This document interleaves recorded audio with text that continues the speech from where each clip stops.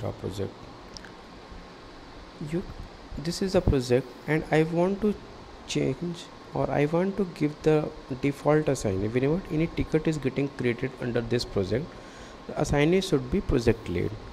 So how i can do that? Just click on the create button. Okay. And uh, just select story. Next.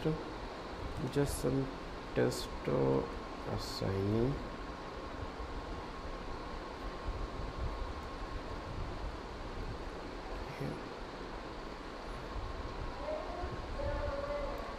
nothing is important or required. For just click on the create you can see this is unassigned. Now i want to change assignee means default assignee i want to provide. So what i have to do just go to the project setting.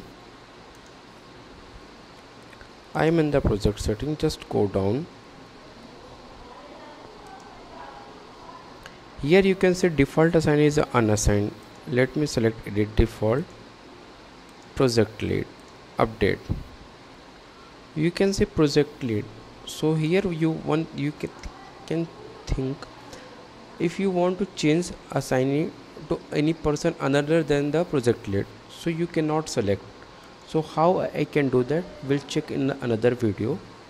But currently if you want to make project lead as a default assignee like this you can do that.